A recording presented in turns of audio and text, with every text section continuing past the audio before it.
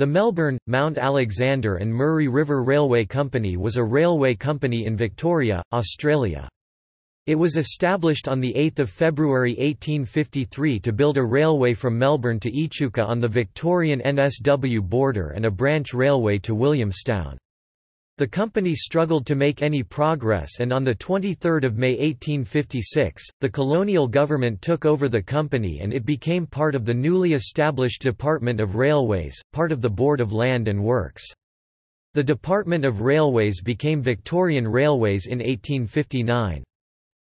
Construction of the Bendigo line commenced in 1858, but this private consortium also met with financial difficulties when it was unable to raise sufficient funds, and was bought out by the Victorian colonial government.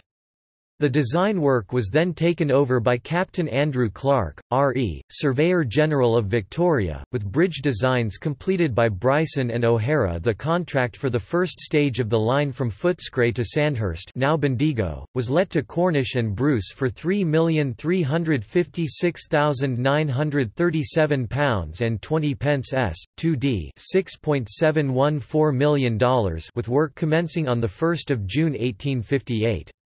Completion of the permanent way was to be by 31 July 1861. Clarke appointed William O'Hara to design bridges and viaducts, while William Edward Bryson stated to the Select Committee of the Legislative Assembly on Railway Contracts that he had designed most of the large bridges on the line.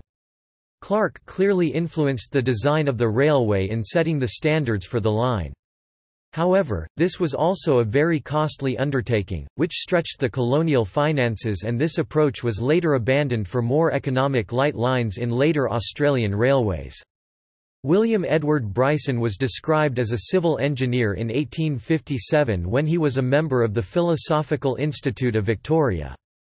He was also a member of the Royal Society of Victoria 1859–60 and employed at the Government Railway Office he published Resources of Victoria and Their Development in 1860 in the Royal Society's Transactions.